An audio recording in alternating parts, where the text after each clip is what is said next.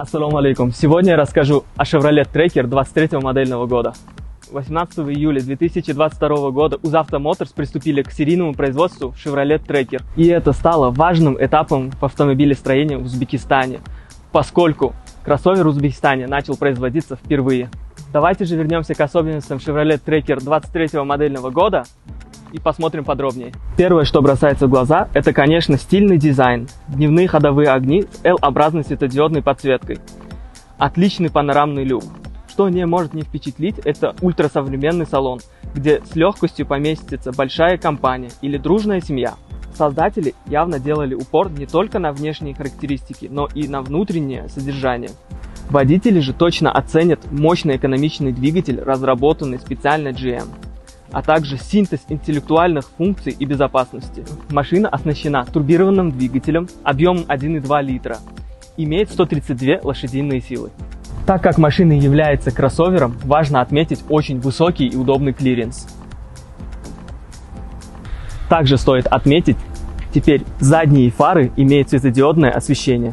Давайте теперь приступим к самому интересному обзору – интерьеру машины. Как вы сами можете видеть, интерьер сохранил свою эргономику с небольшими изменениями. Машина также сохранила свою безопасность, обладает шестью подушками безопасности, датчиками слепых зон и парктрониками также спереди и сзади. Новой функцией безопасности автомобиля является система предупреждения о фронтальном столкновении.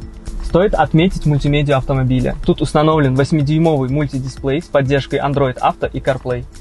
Новым удобством автомобиля является круиз-контроль, который умеет удерживать скорость, а также ограничивать ее. Также в автомобиле появилась функция полуавтоматической парковки. Машина сохранила свою надежную шестиступенчатую автоматическую коробку передач. Если говорить про удобство автомобиля, также стоит отметить беспроводную зарядку, USB-порт спереди и два USB-порта сзади для удобства пассажиров. Как вы могли заметить, вместе с машиной теперь обновился и дизайн сидений. Руль можно регулировать по высоте и по вылету. Также стоит уделить отдельное внимание простору автомобиля, как и спереди, так и сзади.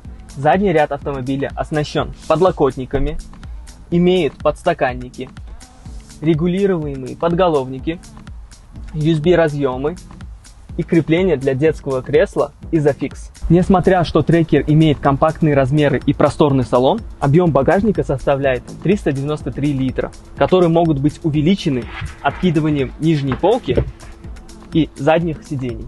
Это был короткий обзор на новый Chevrolet Tracker, производимый в Узбекистане. Подробную информацию вы можете узнать на наших официальных страницах.